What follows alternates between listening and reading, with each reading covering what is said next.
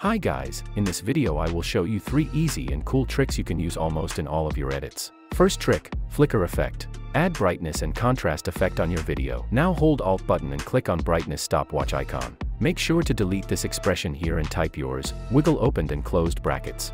Inside brackets type, 20, 50. Now play back the video and check if you are happy with flickering. If it's too hard or it's not enough, simply change values until it makes you happy. Second trick, twist your logo or text in one click. Here I have added my logo of AM Film and an Instagram logo and I want to create a cool twist effect, so make sure to toggle off bottom layer, in my case it's Instagram logo. Now select top layer and add a CC twister effect on it.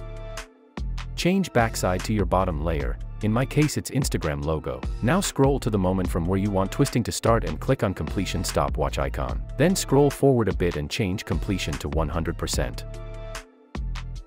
Twist effect is ready. Third trick, turn roto brush selection into masks. Let's grab a roto brush tool and double click on your video.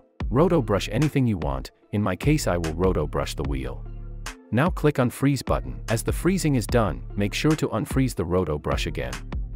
Now go back to composition. Go to layer tab and click on auto trace. Select work area here and make sure to leave everything other as default, then click on OK. Let's wait for a second and here we have a smooth tracked mask on our wheel.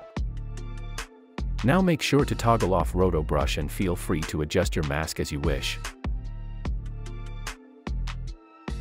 This was 3 very easy and cool tricks you can use in After Effects. Let me know in the comments if you enjoyed this video and want to see more of tips and tricks.